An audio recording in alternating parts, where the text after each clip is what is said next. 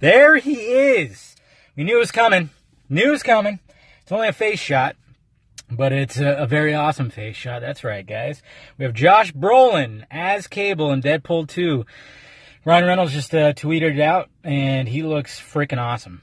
He does. I mean, got the eye, got some scarring, the haircut, and everything just works. It's Josh Brolin. You can't go wrong with that.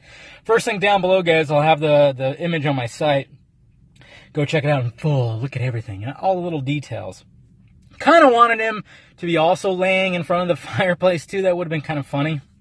There was something with that since they did that, did that with the domino image. But uh, yeah, there it is, guys. There's Josh Brolin as Cable. Simply beautiful. I mean, I, there was no doubt that the, you know, I wonder what the, the arm looks like and everything. That's what's going to be uh, interesting. So, anyways, guys, yeah, go check it out. And uh, yeah, let me know your thoughts about it. What do you think of Josh Brolin? What do you think of his look, his cable, and everything?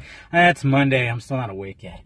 Anyways, but uh, that was a nice little treat. So uh, bring it on. We're probably gonna start seeing them in set photos now. So that's what uh, that's what's kind of cool, because we're starting to see Domino and in the Deadpool set photos, so I wouldn't be surprised if we start seeing him show up out and about. But then again, maybe all this stuff's in the in the uh, on a stage with the green screen or anything. Anyways, guys, yeah, let me know your thoughts about it down below, and I'll talk to you later.